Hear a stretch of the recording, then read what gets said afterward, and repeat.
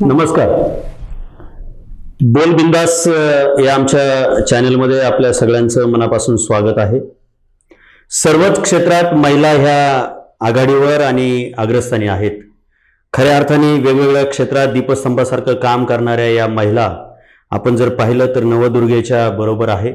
आणि आज एका वेगळ्या क्षेत्रामध्ये असं स्वतःचं कर्तृत्व सिद्ध केलेल्या एका नवदुर्गेला आपण आज या नवरात्राच्या निमित्तानं भेटणार आहोत.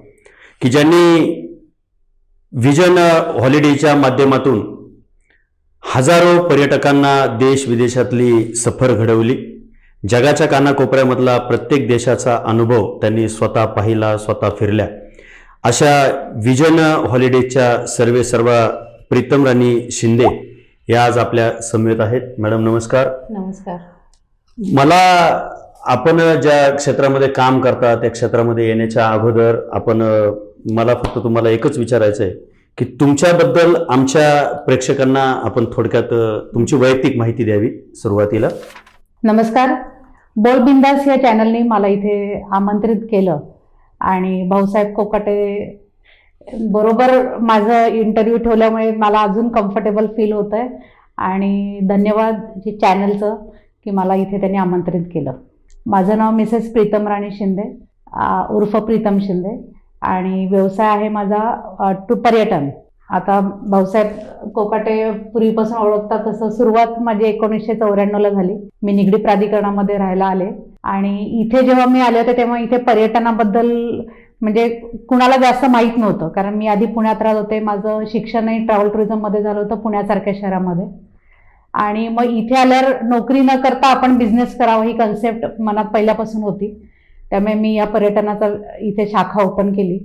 आणि नशिबाची चांगली साथ मिळत गेली इथले चांगल्या लोकांमुळे. म्हणजे पिंपरी चिंचवड खरंच खऱ्या रूपाने श्रीमंत महानगरपालिका आहे तसंच हा पूर्ण प्रभागच श्रीमंत असल्यामुळे इथे पर्यटनाला चालना चांगली मिळाली. सुरुवातीपासून मला सोनारांपासून जे चांगले चांगले म्हणजे हाय जे बेअर करू शकतात टूर कॉस्ट असे क्लायंट मिळत गेले. मला एक सांगा तुम्ही या व्हिजन हॉलिडेच्या माध्यमातून काम करता इतकी चांगली तुमचं काम आहे. एक महत्त्वाचा प्रश्न आहे की तुम्ही या टूर्स अँड ट्रॅव्हलच्या या व्हिजन हॉलिडेच्या माध्यमातून या व्यवसायामध्ये म्हणजे जाणीवपूर्वक आला की पहिलाच तुमचा एम होता की आपण फक्त हाच व्यवसाय करायचा नोकरी करायची नाही?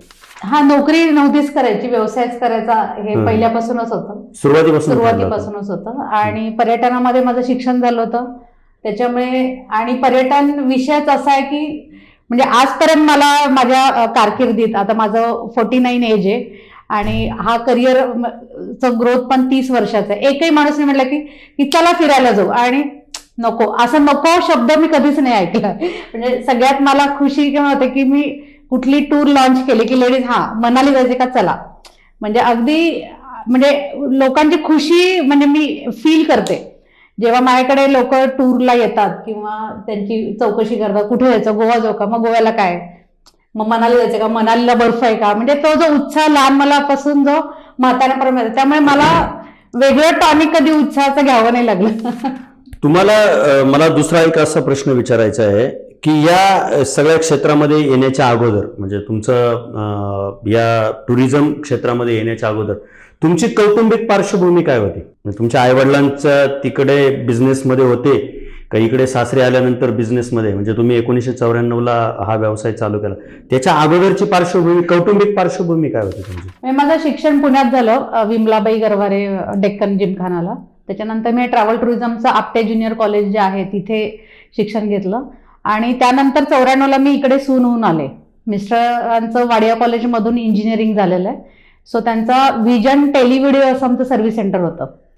तर इथे आल्यानंतर काहीतरी करायचं तर डोक्यात होतं पण इंजिनिअरिंग तर काय मला ते टी व्हीचं रिपेअरिंग जमणाऱ्यातलं नव्हतं कारण तेवढी मी सिन्सिअर नाहीये. त्यासाठी टेक्निकली नॉलेज असायला पाहिजे. मग मी vision tours and travels board लावला. माझ्या सासऱ्यांनी याची म्हणजे उभारणी केली. मुहूर्तमेढ सासऱ्यांनी केली. आणि त्यांची इच्छा होती की तू काहीतरी कर. म्हणजे आज त्यांचेच ब्लेसिंग्स मी समजते की त्यामुळे हे सगळं पुढे चालू आहे. आणि मग तेव्हा जी सुरुवात झाली तर जे हे क्लायंट येत होते त्यांना मी सांगत गेले मला एमआरडीसीचं तेव्हा मोठं कॉन्ट्रॅक्ट मिळालं ही गोष्ट एकोणीसशे पंच्याण्णवची. तेव्हा प्रगती मैदानला स्टॉल लागायचे. कुठलंही एक्झिबिशन असेल तर पिंपरी चिंचवडचे स्टॉल तिथे लागायचे. आणि मग मला तिथलं अगदी फाईव्ह स्टार बुकिंगपासून लक्झरी बसेस बुक करा विमानाचे तिकीट रेल्वे तिकीटपासून मग तो सुरुवात झाली तर सुरुवात. आता मध्यंतरी मी मुलांसाठी थोडा बिझनेस बंद पण ठेवला होता सात वर्ष. पण परत जी आपली जी आवड आहे ना ती आपण तिथेच येतो. म्हणजे आपण खूप सारं म्हणतो की नको काही नको पण एक रुखरुख लागते ना कौटुंबिक व्यवस्था एकदा रुटीनला आली की routine ला परत आली की आपण मी त्या परत ते ह्याच्यात चालू केलं. मला अं, दुसरा एक प्रश्न आता असा विचारायचा आहे हम्म. की हे सगळं करिअर उभं करत असताना म्हणजे हे सगळं काय करत असताना आत्ता जे काय तुम्ही गेली एकोणीसशे चौऱ्याण्णव म्हणजे जवळपास तीस वर्षाच्या कालावधीमध्ये या करिअरमध्ये महिलांना संधी आहे का? आणि महिलांनी याच्यात यावं असं वाटतं का तुम्हाला? टुरिझम म्हणजे स्काय इज द लिमिट आता तर तुम्ही स्वतः बघताय म्हणजे चंद्रावर आपण पोचलोय. म्हणजे आता तुम्ही सांगा की असं कुठे हेच नाही की आपण जाऊ शकत नाही. जर हे या वर्षीच रेकॉर्ड आहे की आपण सक्सेसफुली चंद्रावर पोचलोय. तर म्हणजे हे पण आणि महिला पण आहेत. म्हणजे आपण कल्पना चावलापासून जर सगळ्या गोष्टी बघितल्या तर आज कुठेच महिला कमी नाही आहेत मला एक सांगा. मी तर सांगेन रिस्पेक्टफुली की वीणा वर्ल्डच्या केसरी ट्रॅव्हल्स घ्या जेलम चौबळ घ्या किंवा वीणा पाटील घ्या. आदर्श व्यक्तिमत्व म्हणून आपण खरंच बघायला पाहिजे. म्हणजे मी तर कौतुक करते की त्यांना पण लोकांनी ऍक्सेप्ट केलं. त्यांनी फार म्हणजे देशातल्या अनेक लाखो म्हटलं किंवा कोटीमध्ये म्हटलं तरी लोकांना परदेश आणि त्यांनी तर म्हणजे. गावोगावी जाऊन तिथल्या महिला पण त्यामुळे आता यायला लागल्यात पर्यटनाला. मला दुसरं एक विचारायचं आहे. पर्यटन टुरिझम कन्सेप्ट सध्या प्रचंड प्रमाणात देशामध्ये पण वाढतो आणि परदेशामध्ये वाढतो. पण एक्झॅक्ट म्हणजे पर्यटन टुरिझम कन्सेप्ट ह्याची व्याख्या काय? म्हणजे लोक इथून परदेशात जातात परदेशातली लोक इथं येतात.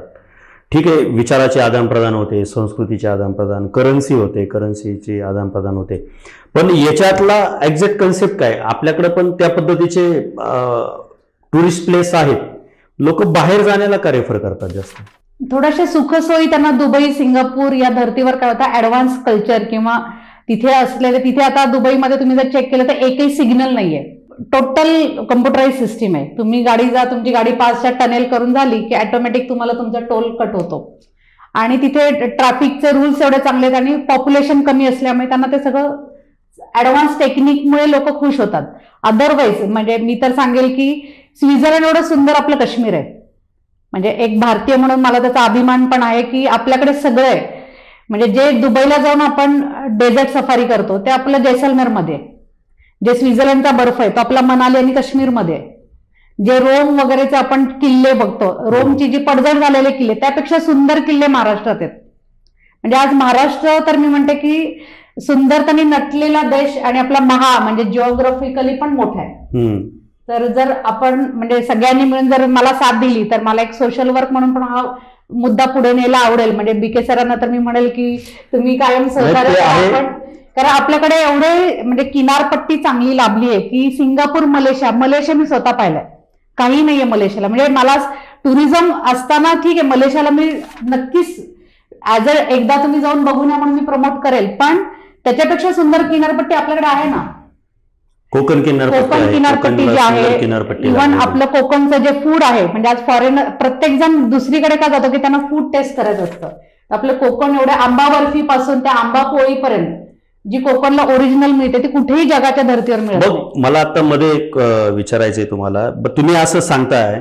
तर आपल्या महाराष्ट्राला किंवा देशाला या पर्यटनाला ग्लॅमर कसं देता येईल मग? तर त्याच्यासाठी काय करावं लागेल मग?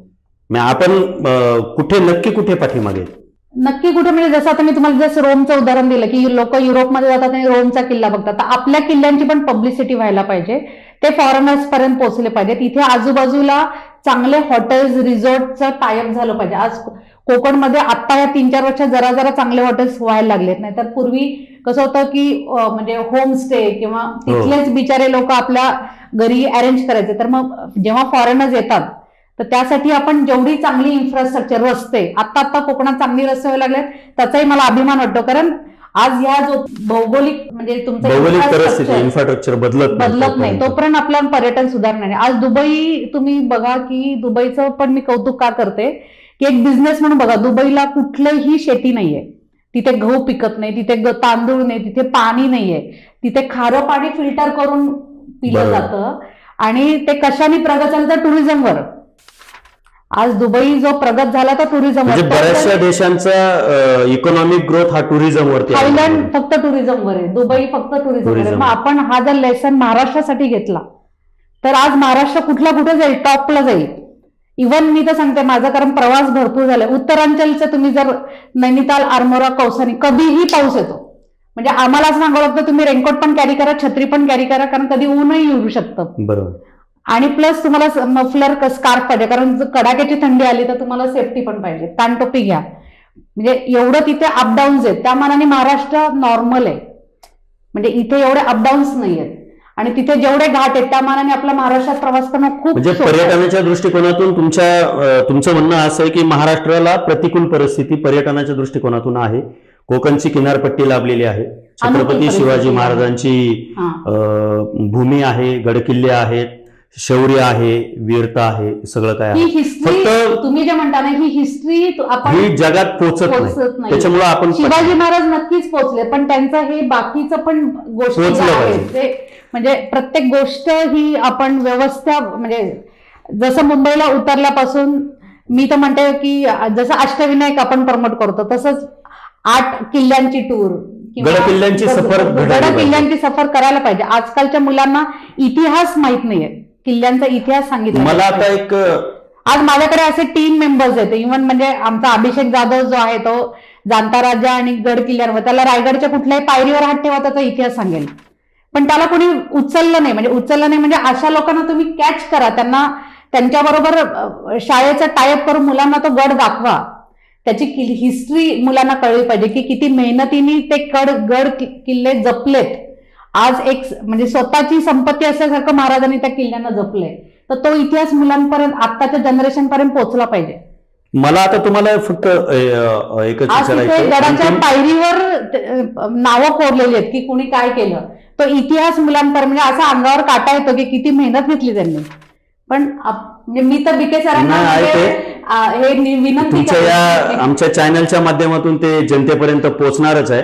परंतु या नवरात्र नवरात्रीच्या माध्यमातून नवदुर्गांच्या या सगळ्या मुलाखती घेत असताना खऱ्या अर्थाने आता हा विषय आहे का ज्या मातेंनी या शूरवीरांना जन्म दिला त्याच्यातूनच हे सगळं विश्व उभं राहिले? मला एकच गोष्ट आवर्जून तुम्हाला विचारायची आहे की टूर्स अँड ट्रॅव्हलचा हा तुमचा व्यवसाय करत असताना एक महिला म्हणून तुम्हाला काही अडचणी येतात? अडचणी येतात. त्या तुम्हाला अडचणी आयुष्यात आल्यात का? किंवा असा एखादा संघर्षाचा प्रसंग महिला म्हणून तुम्हाला आलाय का? ह्या टूर्स अँड ट्रॅव्हलच्या व्यवसायाच्या माध्यमातून. का. त्याचं एक किंवा एक असा आदर्श आलाय का? की ह्या बाकीच्या महिलांनी तुमचा आदर्श घ्यावा बाकीच्या मुलींनी आदर्श घ्यावा. या नवरात्राच्या माध्यमातून नवदुर्गांच्या मुलाखती घेत असताना की त्या प्रीतम शिंदे या विजन हॉलिडेच्या सर्वे सर्व आहेत. तर प्रीतम शिंदे यांचा एक आदर्श घेऊन आम्हाला आमचं आयुष्य जगायचंय. असा असं काय तुमच्यात आहे की तुमचा आदर्श नक्कीच घ्यावा? म्हणजे मी तर सांगेल की माझं फक्त पॉझिटिव्ह थिंकिंग जे आहे त्याच्यामुळे मला खरंच म्हणजे प्रत्येक टर्निंगवर मला मदत मिळत गेली. म्हणजे आज चौऱ्याण्णवपासून ते आज इथे पाहिलं तर मी ते काही घेऊन आले नव्हते आणि आज मागे येऊन पाहिलं तर सगळं आहे माझ्याकडे. I am hundred percent satisfied म्हणजे चांगले क्लायंट्स मिळाले माझे स्वतःचे ऑफिसेस झाले स्वतःचे फ्लॅट झाले किंवा जे काय. आज चांगली मुलं मिळणं पण म्हणजे म्हणतात ना की आज मुलांनी सगळं म्हणजे हा माझा प्रवास दौरा पाहिला आणि हे आज तेही याच बिझनेसमध्ये आणि खुशीने करतात. म्हणजे मी कुणालाही म्हणाले नाही की तुम्ही हा बिझनेस करा. पण जेव्हा माणूस आतून खुश असतो तर ऑटोमॅटिक त्या गोष्टी होत जातात. मग आता या नवरात्रीच्या माध्यमातून तुमच्या मी मुलाखत घेत असताना तुम्ही आता महिलांना किंवा मुलींना आधुनिक काळामधल्या की ज्यांना नोकरीच्या पलीकडे जाऊन स्वतःचं विश्व उभं करायचं आहे ज्यांना काहीतरी स्वतःचे एम आहेत गोल आहेत अशा महिलांसाठी मुलींसाठी तुम्ही काय संदेश द्याल? नक्कीच जाईल आता म्हणजे माझी मोठी सून जी आहे तिलाही लकीली या फील्डमध्ये इंटरेस्ट आहे आणि ती स्वतः स्प्लेंडेड फॉरेक्स प्रायव्हेट लिमिटेड म्हणजे हे जे आपण फॉरेन करन्सी एक्सचेंज. त्याचं ती सगळं काम स्वतः बघते. म्हणजे एक महिला असताना पण मला तिचा अभिमान आहे की तिने त्यात इंटरेस्ट घेऊन केलं. तसं प्रत्येक मुलगी असो किंवा सून असो तुम्ही इंटरेस्टने जर एक एक गोष्ट आपल्या हातात घेतली तर ते काम पुढे जायला कितीतरी मदतीचे हात आहेत. एक सांगा की आता ह्या सगळं पर्यटन लोकांना तुम्ही आतापर्यंत हजारो लाखो लोकांना परदेशामध्ये फिरवलं या देशामध्ये फिरवलं पर्यटन स्थळं दाखवली त्यांच्या चेहऱ्यावरती आनंद निर्माण झाला. हे सगळं करत असताना तुमचं आवडतं डेस्टिनेशन कोणतं आहे? तुमचं आवडतं पर्यटन स्थळ? महाराष्ट्रातलं म्हटलं तर गणपतीपुळेचा मला बीच खूप आवडतो. सज्जनगड भयंकर म्हणजे माझं माहेर म्हटलं तर आवडेल. म्हणजे असं मला वर्षातून एकदा तरी सज्जनगडला जायला आवडतं. मनाली सुंदर आहे. काश्मीर जन्नत आहे. म्हणजे मला मी अशी त्या सुखद आठवणी आहेत माझ्याकडे सगळ्या गोष्टींच्या. मित्र आज आपण एका वेगळ्या टूर्स अँड ट्रॅव्हलच्या एका वेगळ्या क्षेत्रामध्ये स्वतःचं कर्तृत्व सिद्ध करणाऱ्या प्रीतम राणी शिंदे यांच्याशी अतिशय दिलखुलासपणे गप्पा मारल्या. दिलखुलासपणे त्यांनी आपल्या विचारलेल्या प्रश्नांना उत्तरं दिली. खऱ्या अर्थाने यश काय असतं हे त्यांच्याकडं पाहिल्यानंतर कळतं. कौटुंबिक व्यवस्था सांभाळून सलग तीस वर्ष व्हिजन हॉलिडेजच्या माध्यमातून त्यांनी यशाच्या शिखरावरती पोहोचलेले आहेत. त्यांच्या बोलण्यामधला एकच मतितार्थ आहे की जेव्हा आपण परदेश दौरे फिरण्यासाठी करतो त्यावेळेस आपल्या देशामध्ये आपल्या राज्यामध्ये अशी कितीतरी पर्यटन स्थळं आहेत की तिथं सुद्धा प्रत्येकाने गेलं पाहिजे भेट दिली पाहिजे. आपण गडकिल्ले पाहिले पाहिजेत. गडकिल्ल्यांवरती गडकिल्ल्यांचं संवर्धन जपलं पाहिजे गडकिल्ल्यांना जपलं पाहिजे. तिथला इतिहास हा प्रत्येकाने जपला आणि जोपासला पाहिजे. नवीन येणाऱ्या पिढीला त्याचा वारसा दिला पाहिजे. हे त्यांच्या बोलण्यातलं मतितार्थ आहे. ह्याचाच अर्थ असा आहे की या देश सुख समृद्धी या सगळ्या गोष्टींनी अतिशय मोठा आहे. आपण परदेशात जाऊन परदेशातलं अनुकरण इथं आणण्यापेक्षा आपली संस्कृती परदेशामध्ये कशा पद्धतीने पोहोचेल असं काम ते करतात आणि भविष्य काळात करतील. आपण आमच्या या बोलबिंदाच्या स्टुडिओमध्ये आलात. मी आपलं मनापासून स्वागत करतो. आणि सर्वात महत्वाचं की येणाऱ्या या नवरात्रीच्या काळामध्ये आपल्याला या नवरात्रीच्या मनापासून शुभेच्छा आमच्या सगळ्या टीमच्या वतीने देतो. तुम्ही ज्या व्यवसायामध्ये काम करतात उत्तरोत्तर त्याची अशीच प्रगती हो. याच आमच्या बोलबिंदाच्या वतीनं आपल्याला मनस्वी शुभेच्छा. धन्यवाद.